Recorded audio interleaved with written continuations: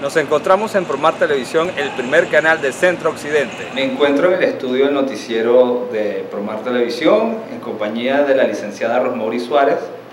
quien nos va a conversar un poco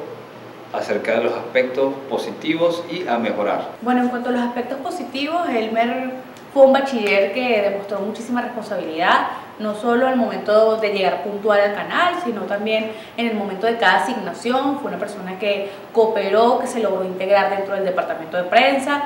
De alguna manera también fue esa pieza importante en todo lo que es el proceso informativo, pudo adquirir conocimientos en cada una de las áreas en donde fue asignado, en generadores, en coordinación, en página web.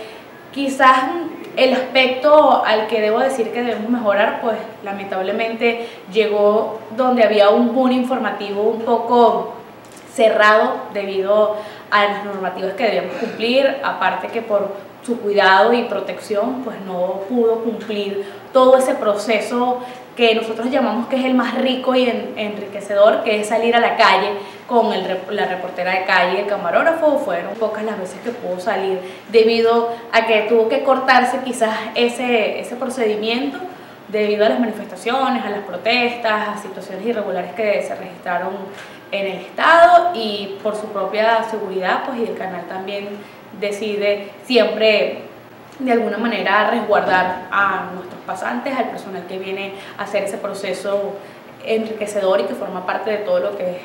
tu carrera comunicacional como tal. Creo que ese es el aspecto que quizás pudimos haber mejorado si hubiese llegado en otro tiempo porque hubiese tenido más tiempo para salir a la calle. Sin embargo, pues logró palpar todo lo que es ese día a día de la calle, logró palpar lo que son no solamente las entrevistas, lo que es un proceso de calientes, lo que es un proceso de en vivo, lo que es un proceso de material de noticiero al aire, lo que es la producción de informaciones para noticieros vespertinos, lo que es la producción de, de noticias para nacionales, internacionales.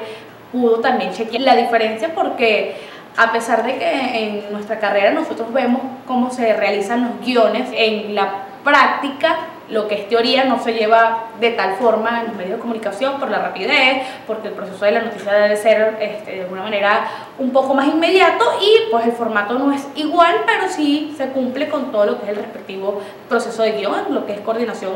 generadores, edición y, y periodista, pero es distinto. Entonces él pudo de alguna manera evaluar lo que es un guion de teoría y lo que es un guion de práctica dentro del canal de Promo Televisión. Aparte, pues eh, Elmer ha demostrado no solamente esa disposición de salir a la calle cuando uno le pedía algo adicional, sino esa pasión y ese amor que debe tener cada profesional de la comunicación por esta carrera.